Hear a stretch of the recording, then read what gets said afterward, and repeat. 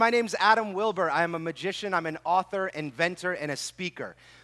And this whole idea of ideas worth sh- sharing, I, I, sort of, I mean, I do magic, right? I entertain. I got the E part of TED down. So I really started thinking about what is this idea that I could share. And I thought the most personal thing that I could share with you is what changed my life. So let me start with a question. Uh, just by show of hands, who in this room believes that they know their purpose or have an understanding of what their purpose in life is? And it's totally fine to not raise your hand. Show of hands. Good. Very, very few. And that's one thing that I struggled with my whole life was everyone saying, "Oh, once you find your purpose, once you find your passion, everything will make sense, everything will fall into place." And the question that was asked over and over when how do you find your purpose is, well, here. Let's say you didn't have to worry about money. Money wasn't an issue. Well, what would you do? And that's almost an impossible question to answer, in my opinion, because we all do have to worry about money, right? So for me, the idea of how do you find your purpose really stems down to what's that one thing that you remember, the first thing that you remember truly loving? What's the one thing that's sort of been with you through your whole life? Now, maybe not in a professional manner. Maybe you like to draw, but you know you're never going to be a professional artist. Or maybe you like writing poetry, but you, you know you're not going to make a living doing that. Whatever that thing is, and I think everyone in the room has one thing, one thing that's really stuck with them, that is a good indicator of what your purpose is. So, my whole goal here tonight, first and foremost, is to share my purpose, which is magic. I believe that sharing magic with strangers and soon to be new friends is my purpose. It's, I'm here to bring people together in a fun and in a, in a wondering kind of way. And it took me 30 years of my life to realize that once I could find that purpose and follow it and pursue it, then everything did fall into place. It was that really ironing out of what my purpose is. So, with that said, I'm going to show you my all time favorite trick. It uses three ropes and let's get right into it. I need a few people to just sort of vouch for me, because I do understand it might be a little bit hard to trust a magician. I don't know why, but I've got three ropes. These are regular ropes, like you would find in any bedroom in America. I know who my people are. Good, okay, perfect. We've got a long piece of rope, we've got a medium piece of rope, and we have a small piece. Sir, what's your name? David, great memory. Could you take a look at the long piece of rope for me? Make sure it doesn't stretch, come apart, no magnets, trap doors, just a piece of rope. Hi, ma'am, what's your name? Say it again. Thank you for helping. I'm not going to try on that, but thank you very much. Make sure that's a medium piece of rope. Sir, this is not a judge of your character, it's just a small piece of rope. Take a look at that one. Make sure there's no magnets. The ends are glued shut. That's just so they don't fray. But other than that, they're pretty standard pieces of rope. You're looking way too close, sir. You know why I let you examine that one? We don't use this one for the trick. Don't worry about that. I'm just kidding. I'm just kidding. I'm going to show you guys the difference between illusion and magic. Illusion is the uh, impression of something that's not real. And magic, magic is, to me, the most beautiful thing in the world. And the other thing is, without you guys here, there is no magic. See, I don't get to sit in my room and look in a mirror and go, how the heck did I do that? Right? Magic only exists in your brain. So without you, there is no magic. And that's what I think is really special about magic. It brings people together. So, what I'd like to first show you is the illusion that these ropes are the same length. At this point, that's a terrible illusion. I think we can all agree to that. But if we bring the ends up to the top, we don't have to focus on the ends, we focus just on the middles. At this point, still not a good illusion because we can see the middles are different lengths. Here's where the illusion takes hold. If you take the long middle and you put that up, now if I came out of the case like this and said, ladies and gentlemen, my name's Adam Wilber, I have three ropes the same length.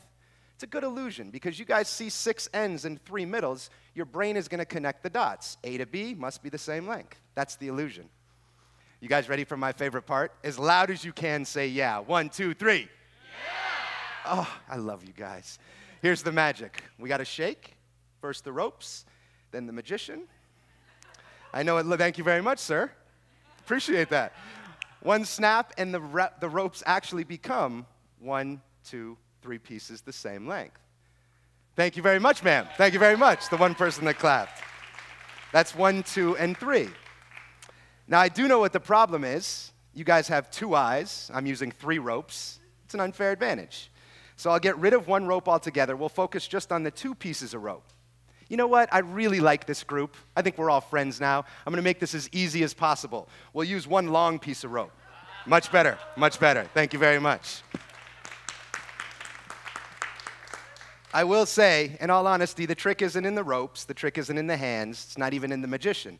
The trick is in the ends. If we take the ends and we blow, watch what happens. We can blow the ends right off the rope. So we got ends with no rope and we got rope with no ends. All right, well, if the magician is confused, we need to backtrack. We take the ends, put them back on, blow again. We're back to the long piece. Thank you very much. Thank you very much. I think most good magic tricks end the way they began. So I'd like to end this the way it began, which means I need to cut this into exactly even lengths. So that's about the middle. I'll use my imaginary invisible scissors. Picked them up at Walmart. That's one, two, and three pieces of rope, the exact same length, just like when we. Well, wait a minute, that's a lie. When we started, we had the illusion of three ropes the same length, but we all know the reality was a small, a medium, and a long.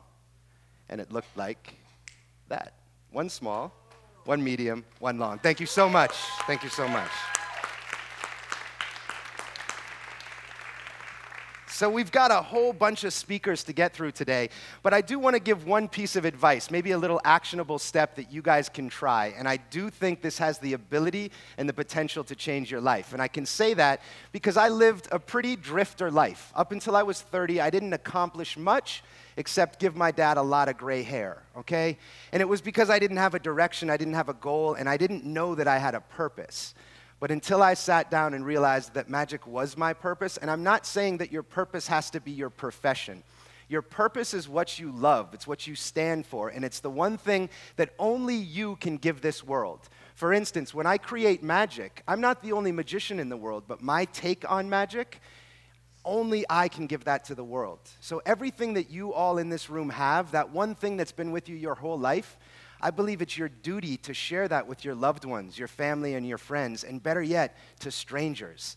Meet people with this purpose and this passion, and I promise you it will change your life in ways you'll never imagine. And I'm living proof of that. Just seven years ago, I was working dead end jobs, making minimum wage, really struggling by. Fast forward seven years, I'm quite literally living the life of my dreams. I invent magic, I meet amazing people like you, and I get to do everything I want with one thing, my purpose, which is magic. So we're going to end on a card trick because it's, a, uh, it's almost an unwritten rule that if you're a magician, you have to do a card trick in a magic show. I gave a deck to someone. Could you hold the deck up and could you just verify we're not in cahoots? I actually just said, You look trustworthy. Will you hold this for the entire show? You've been holding it ever since. Nobody's touched it. Perfect. So, what I'm going to show you is something uh, you probably didn't know, but I'm kind of a man of many talents and this is my best one. People standing, you might want to sit down for this.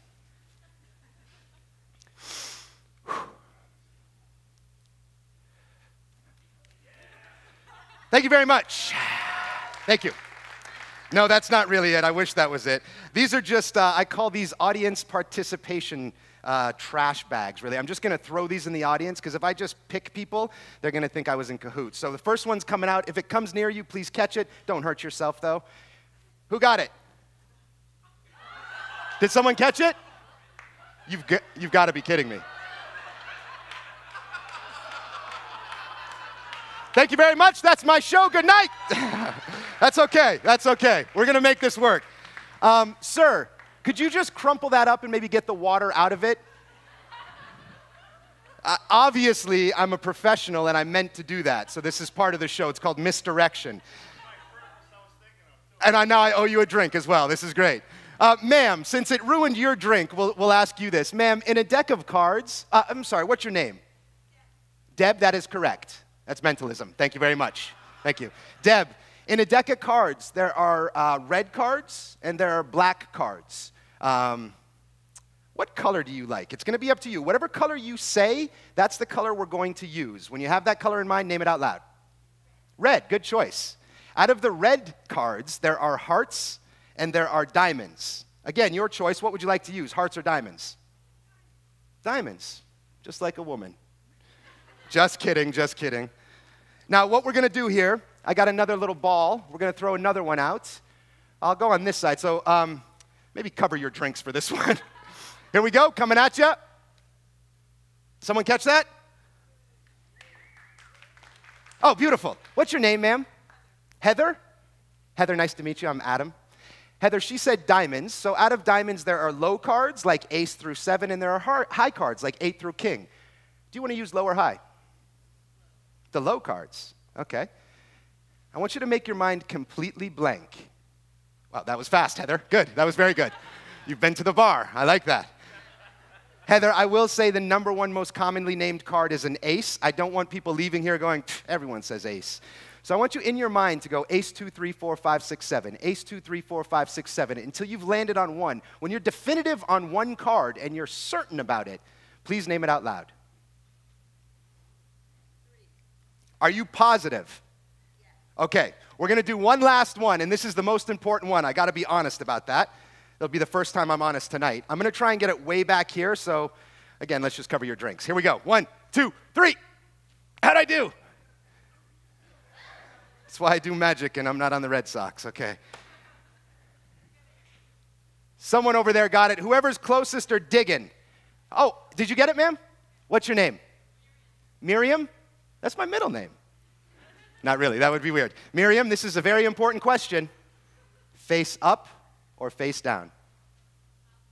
Face up. You're sure? That's pretty fair. What I love about magic is it truly brings people together. And when you can bring people together, whether it's in work or your family or relationships, that's when real magic happens. And I'll show you what I mean by real magic. You've been holding that deck of cards the whole time. Ma'am, you said red and then diamond. You said low and then three, and you said face up. Could you hold the deck up? Just bring it up to me, and I'll take it. Everyone will clap for you for being so trustworthy. Give her a big round of applause.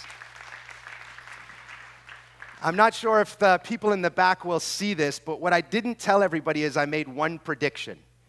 I turned one card. Every card is face up like you asked, but I changed just one before we started. Just one.